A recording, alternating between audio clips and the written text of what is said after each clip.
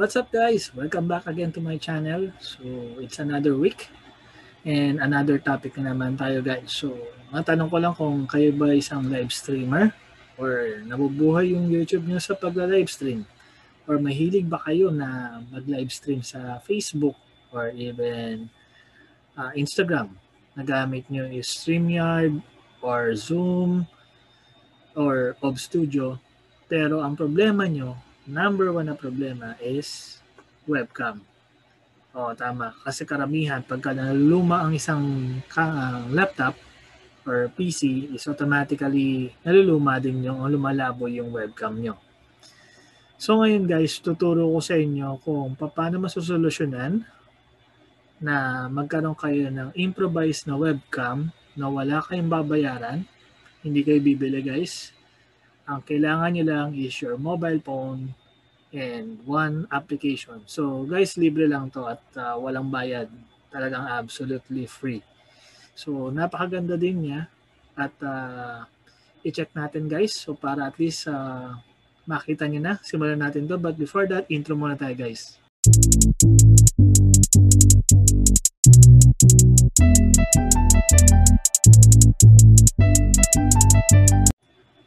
Okay guys, welcome back again to our channel. So ngayon ito nandito tayo sa Chrome right now. And then ang kailangan lang natin i-search para do sa ating webcam na application is Irion Webcam.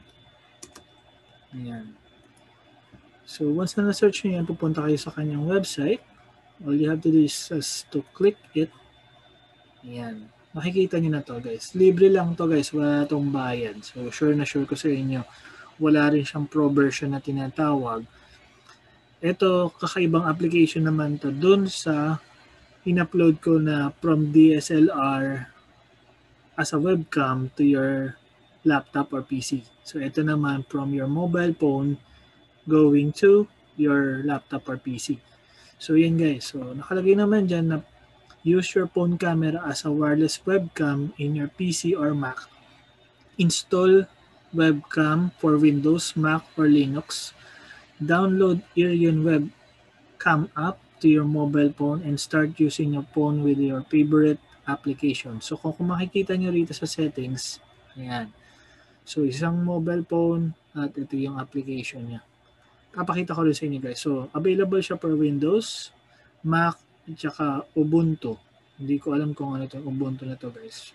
And then, yun nga, kailangan nyo siya i-download to Google Play or App Store sa inyong mobile devices. Okay? Okay guys, kagaya ng sinabi ko kanina, kailangan nyo rin i-install yan sa inyong mobile phone. So, kagaya nito, ayan. So, yun na yung uh, Irion uh, 4K webcam for PC and Mac. So, since na-install ko na siya, papakita ko sa inyo kung paano siya gumana guys. Okay guys, ngayon nandito na tayo sa PC naman or sa laptop natin guys. So kung mapapansin nyo, sa side na to, yan yung zoom natin kanina. Wala tayo. Wala tayo doon sa loob kahit expand ko pa yan. Ayan. Ayan, hindi nyo ako nakikita dyan. so ngayon, ang gagawin natin para mag-activate siya guys, ito yung Irion webcam. Click natin yan at lalabas to. So nakalagay dyan, Irion webcam turns your phone into wireless ka webcam.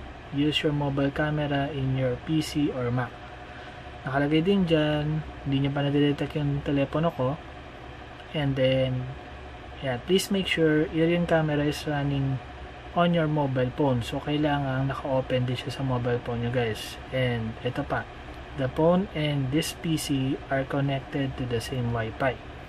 So, which means hindi ka pwedeng mag-connect kung magkaiba kayo ng connection or magkaiba kayo ng wifi. So, or for example, yung phone nyo naka-data, yung PC nyo is, or yung laptop nyo is naka-wifi, hindi po pwede guys. So, kaya kailangan pareho siya.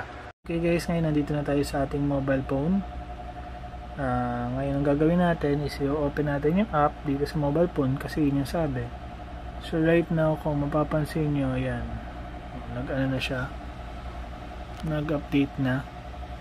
So, kung makipapansin nyo, ayan, nakikita na tayo. Updated na rin dito. And updated na rin sa Zoom.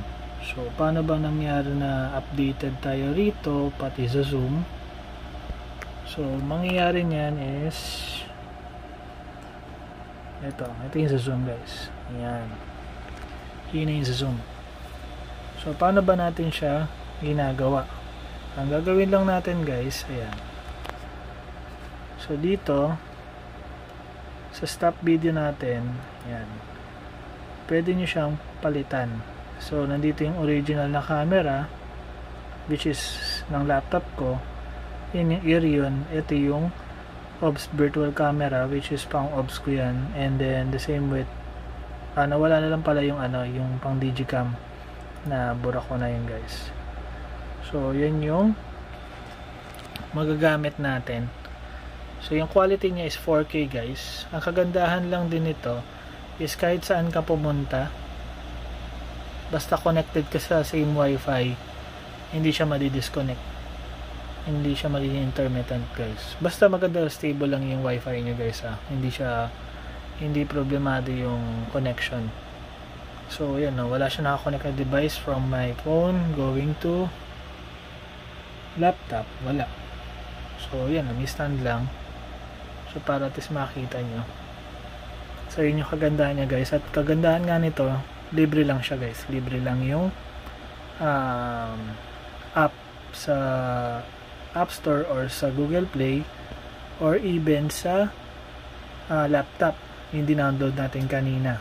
O yung na-download ko na palang application. So wala siyang bayad guys at maganda pa yung quality 4K na siya guys Okay guys, that's it for today's vlog. Um, another week na naman tayo. Natapos na naman tayo ng tutorial at sana may natutunan kayo.